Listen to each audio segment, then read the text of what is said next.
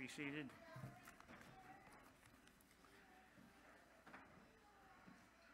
Our scripture this morning comes from the book of John, chapter 9 and verse 25. John 9, 25. He answered and said, whether, whether he is a sinner or not, I do not know. One thing I know, that though I was blind, now I see. We'll turn the time over to Pastor Gary.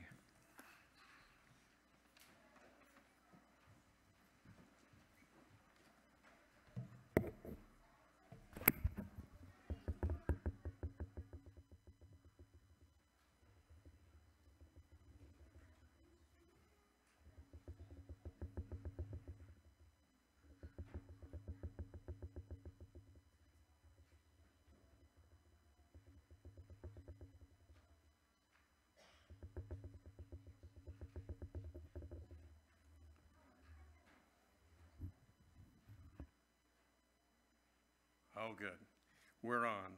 So, we're going to talk about guiding principles of knowing God's will. This is part of a series, Getting to Know God, and not just getting to know God, but getting to know what He wants from us and how we should respond. One of the Proverbs, we're going to talk about four different Proverbs here. You can count them and know how far the sermon is going. Don't let what you don't know confuse you with what you do know. It was 1982. I was in an Eskimo village and I was running short of gasoline. I get my gasoline once a year in a 55 barrel, 55 gallon barrel drum. And I was running short, and the pastor, 40 miles away on the island, had an extra barrel of gasoline. And he says, Hey, I've had this extra barrel for quite some time. Let's meet in the middle and you can get it. So he's going to come 20 miles. I'm going to come 20 miles. And uh, there's no roads. We're not going to ship it by airplane. We're just going to each take our snowmobile. They call them snow machines. And we'll meet in the middle. Well, I went with somebody who was going to go someplace else, uh, an Eskimo fella, and he got me to the right spot, met the other pastor, we put the 55 gallon barrel of gasoline on my sled. How much does that weigh? Anybody know? 450 pounds. Yeah, it's heavy. So we put it on my sled and off I went, headed back home again. Um, it was probably March or April, um, plenty of daylight. Problem is fog. And I was following the track, no roads, no signs. I was following the track, looking, and then the fog came in so that I, I mean, everything is white. There's no rocks. There's no, so trying to follow where I had come before was getting increasingly difficult until the point where I couldn't see tracks at all because of the fog. I couldn't even see my skis on the snow machine. I mean, the fog was really, really thick. So I would lean over as far as I could. There's no more track. So, many possibilities. Number one, it's about zero degrees. Number two, probably not going to last forever right there. I had to do something. I could have panicked but I went back to this. Don't let what you don't know confuse you with what you do know. So I knew I was headed the right direction. That's good. Last time I was following the track, I knew I was going in the right direction. So I didn't want to go to the right or left or back. I needed to go forward. But where was the trail? Where was the track? And the fog was so thick, I couldn't go away from the snow machine very far or I would lose it. I needed to stay where it was. What I do know is God's watching out over me. What I do know is I can pray and He would help me. What I did know, you know, I knew which direction I needed to go. And knowing all of those things, so I wasn't afraid, I wasn't panicked, but I was concerned. Let's put it that way. because, you know, this is a situation in which people can make silly mistakes. And yes, even Eskimos die out there in that kind of wilderness. Now, I had somebody going with me out there, but I was all by myself coming back those 20 miles, and we had gotten up into the mountains. So I prayed. I um, got down right beside the machine, and I found the track just a couple of feet off. And then getting back on the machine, I moved over onto the track, my head over as far as I could so I can keep my eye on the faint little track and kept going very slowly. And, oh, it was half an hour. I don't know how long it was. The fog cleared and I was able to get back home with the full tank of gasoline. It was good news. Well, I want to tell you about my one of my favorite stories in the Bible. It's from John chapter 9. Jesus was walking along. He saw a man who was been blind from birth. Now, that's a very serious thing. He wouldn't know what anything looked like. Rabbi, his disciples asked him. So, who's asking him this question? His disciples, the people who were with Jesus all the time. Why was this man born blind? Well, that's a good question, isn't it? Um, and of course, they had their assumptions. Was it because of his own sins or his parents' sins? There's got to be a reason for this. And they're thinking it's because of sin, because that's what they were taught. That's what the Pharisees taught. And so they kind of bought into that idea. It was not because of his sins or his parents' sins, Jesus answered. Direct contradiction from the teachings of the Pharisees. This happened so the power of God could be seen in him. Oh, now we're talking something really different here. The power of God can be seen or revealed in him. You know, all quarter long we've been talking about the crucible experiences, and we're beginning to realize it's not necessarily something we've done wrong, and it's not necessarily people out to get us. It's so that we can be strengthened or God's power can be revealed through us when we get it right. We must quickly carry out the tasks assigned us by the one who sent us. Did you uh, catch that? How soon should we do what God has asked us to do? Quickly.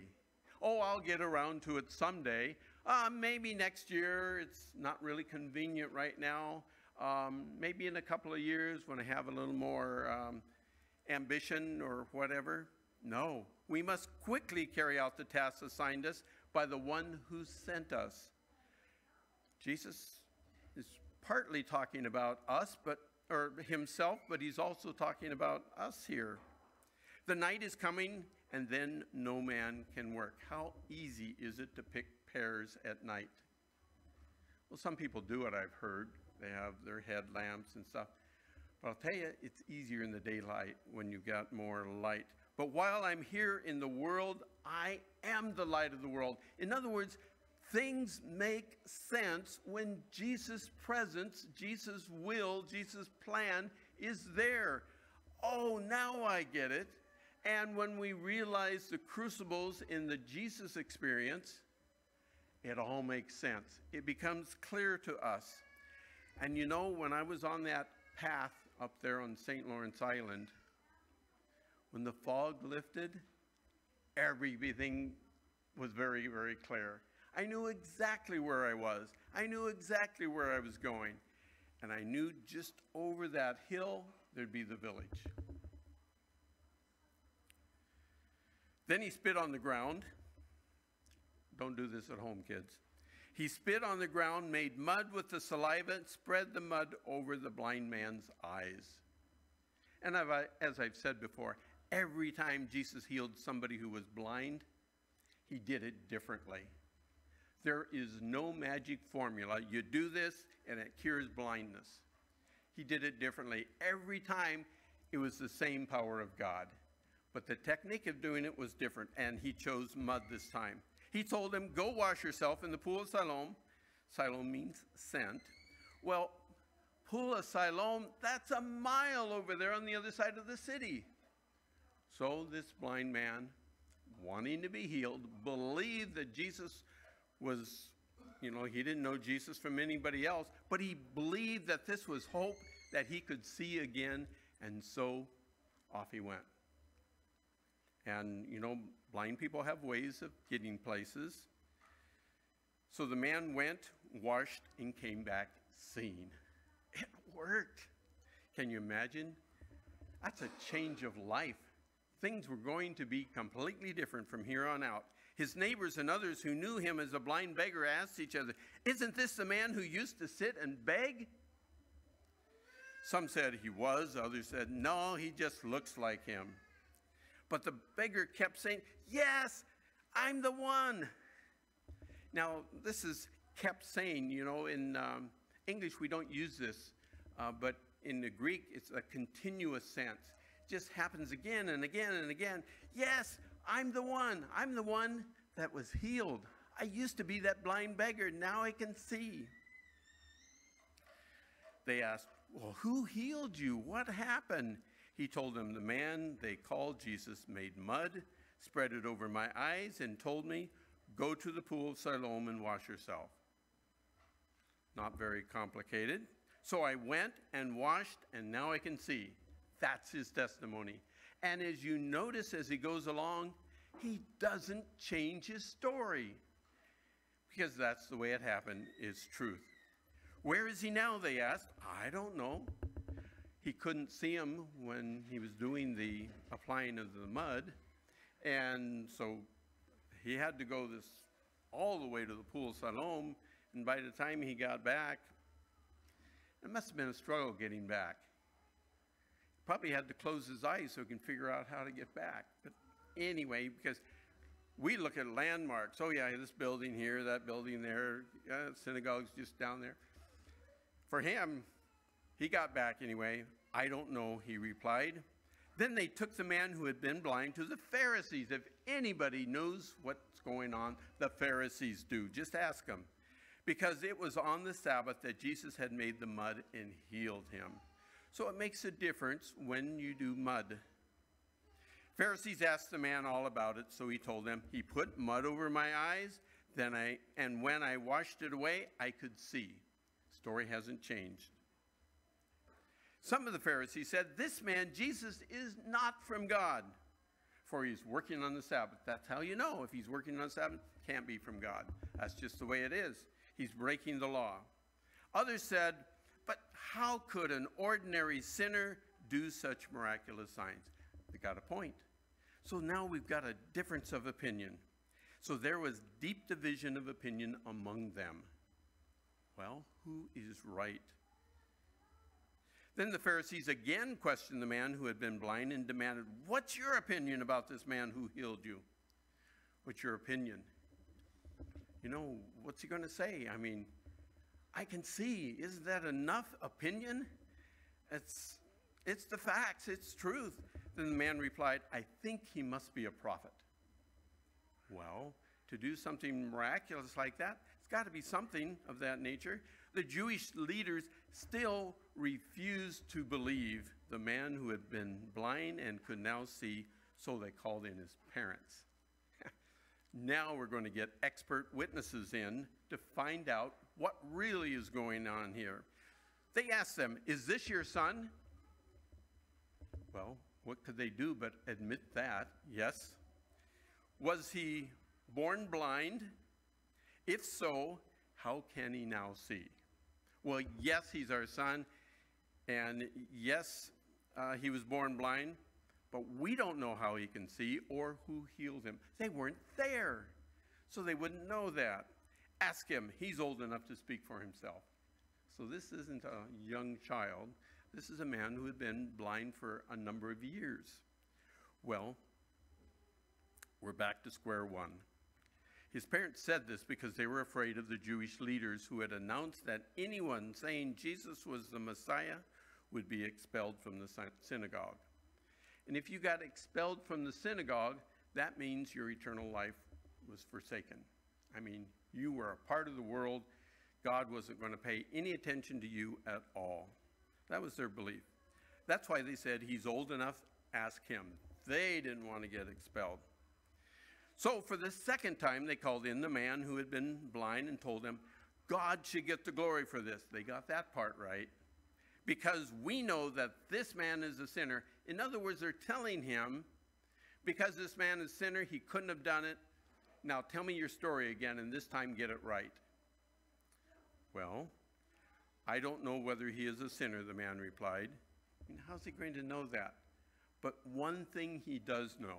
See, what he knows and what he doesn't know. I know this I was blind and now I can see. We have got to stick with what we know. There's lots of stuff we don't know, and many of us will tend to speculation or surmisings or guessing or even fortune telling. But I'll tell you this we need to stick with what we know, and from there, we can make rational decisions. But what did he do? They asked. How did he heal you? Look, the man replied. I told you once, didn't you listen? Well, if you're stating the facts, why do you need to repeat the facts over and over? Why do you want to hear it again? Do you want to become his disciples too? Well, that was the last straw. Them becoming disciples of Jesus? Absolutely not. Then they cursed him. Not a good thing. I don't recommend it for anybody to curse other people. But these were Pharisees, these were religious leaders. They cursed him and said, You are his disciples. We're disciples of Moses, much superior, you see. We know God spoke to Moses, but we don't even know where this man comes from. Well, why did they say we don't know where he comes from? Because they knew the story of Jesus' birth. And they knew and suspected it was all illegitimate. Why, that's very strange, the man replied. He healed my eyes, and yet you don't know where he comes from? Well, this man's thinking more and more. He's a prophet, he's a man of God. He is able to do something miraculous. We know that God doesn't listen to sinners, but he's ready to hear those who worship him and do his will. So, this is what we know, and this is what we are, you know, this is what we suspect. We know that God doesn't listen to sinners. Well, God doesn't bless sinners. Sinners may want selfish things. Uh, sinners may want things that are really not good for them. And, you know, that's just the way it is. They may ask, but God's not going to grant that. He's not going to encourage rebellion. But He is ready to hear those who worship Him and do His will. That is important. And that's where we want to know Him and we want to worship Him we want to do His will. Ever since the world began, no one has been able to open the eyes of someone born blind.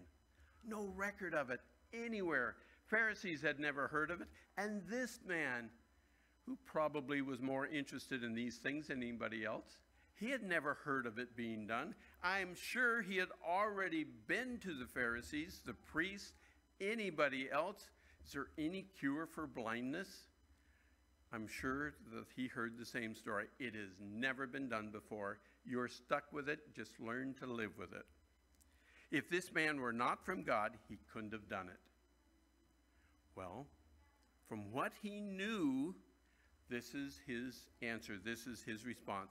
If this man were not from God, he couldn't have done it. The Pharisees answered, You were born a total sinner. We're not listening to you. Are you trying to teach us? And they threw him out of the synagogue. Well, now what's he going to do? Jesus heard what had happened. He found the man and asked him, Do you believe in the Son of Man? And the man asked, Who is he, sir? I want to believe in him. You think he has any faith in Pharisees? The way they treated him, the way they questioned him? No. They weren't even thinking logically. So when he um, asked about the Son of Man, I want to believe in him. You have seen him, Jesus said, and he is speaking to you. Yes, Lord, I believe, the man said, and he worshiped Jesus. And Jesus told him, I entered this world to render judgment, to give sight to the blind, to show those who think they see that they are blind. Just because we think something is true, does that make it true? Just because we think we know the way out of the woods, out of the way of the snowy landscape, you better be careful because what can happen? You can get lost and it can be a very dangerous situation. What I know, I believe there is a God who created the world and loves humanity and who gave his life to redeem. This I know. And so anything I don't know, I need to first check with what I do know and then operate accordingly. I believe the Bible is his word to his people. So if I'm in doubt, I need to go to his word and check it out find out what is really the direction to go, where God wants me to be. I know God is going to come again, and consequently, then we have hope. I did a graveside service for Maureen Harden. Some of you may know her. Um, there was a, a few people there, and we talked about Maureen's faithfulness. But we also talked about the hope because Jesus promised to come again. And whenever Jesus promises anything, he fulfills it. And so we're looking forward to that resurrection when uh, Jesus comes again. I know he has been good to me. That's another thing we know. We stop and think about it and we think of all the bad situations. Well, God didn't do that to me. That was my own fault. No, God didn't do that to me. That was my own fault.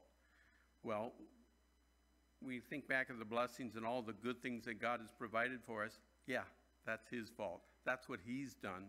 So He's been good to us. That's another thing that we know. And I know He's answered some of my prayers. Well, I know that's true. He's answered a number of my prayers, and He's also refused to answer some of my selfish requests. Well, for good reason.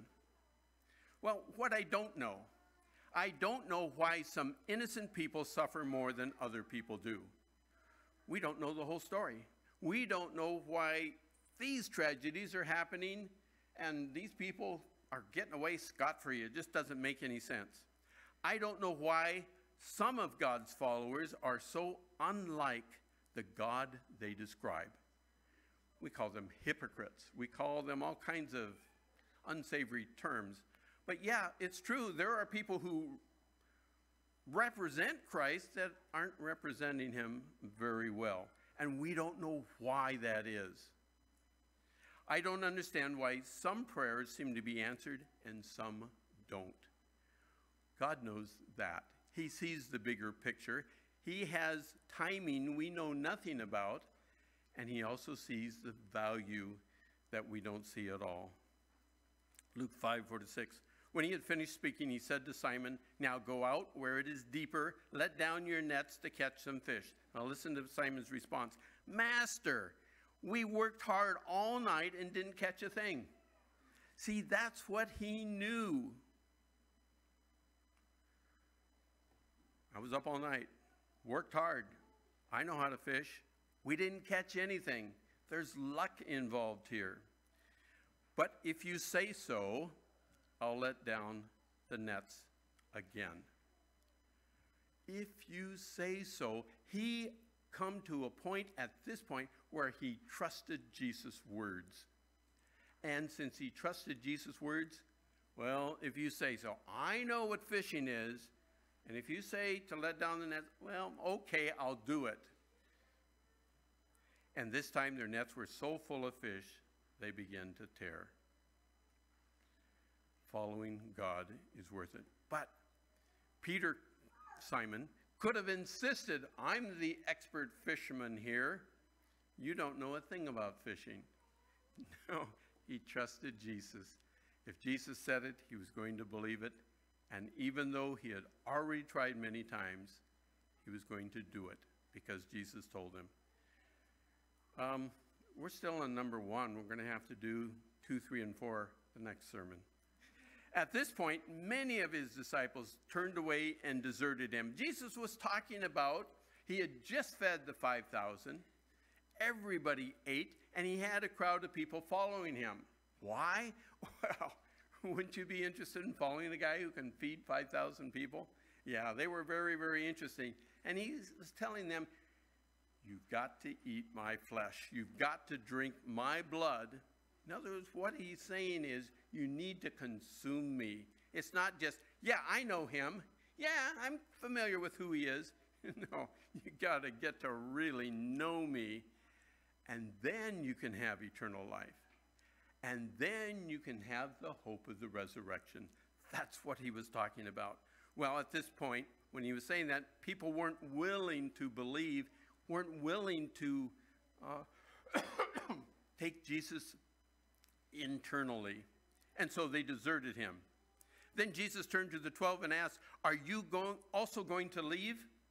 Well, everybody else is leaving. You going to leave too? And hear the response. Simon Peter replied, Lord, to whom would we go? You have the words that give eternal life. This is what Peter knew. And he was going to stick with it. He wasn't going to change his mind at this point. And you know, that's faithfulness. Well, we have lots of people saying, no, that's nonsense. What a waste of time. What a waste of energy. What a waste of money going to a church on a regular basis. Peter says, You are the only ones that have the words of eternal life. It's got to be you. We're sticking with you, not sticking with the crowd at all. We believe and we know you are the Holy One of God. So, could it be that this is blind faith? No, it's not the same as blind faith because there are evidence. There's a, lots of things that we know for sure and we take the next step. Based upon what they know, they negotiate through what they don't know about the world around them. Yeah, we study God's Word, lots of things we know, and we move from what we know and not just jump into the unknown and wonder what's going on. If we are thrown into the blazing furnace, those three young fellas, Daniel's friends, the God whom we serve is able to save us. This is what they know. He will rescue us from your power, your majesty. But even if he doesn't, we want to make it clear to you, your majesty, that we will never serve your gods or worship the st- gold statue you have set up. They knew God was the only legitimate God to worship. They weren't under the threat of death, getting burned alive, going to give up what they believed, what they knew to be true, what they counted on for eternal salvation. I would encourage you, and this is the last text that we'll do. We'll do two, three, and four. They're shorter next time. God wants you to know for sure where you stand. God wants you to know for sure what you believe and not be jumping into the dark and ignoring what you already know to be true. Let's pray. Dear Father, thank you for your stories. Thank you for your words of wisdom. Thank you for examples of people who were secure in standing on solid ground. Father, help us to be faithful. Help us to do what is right. And Father, we're looking forward to your kingdom. In the name of Jesus Christ, amen. We're going to sing Open My Eyes.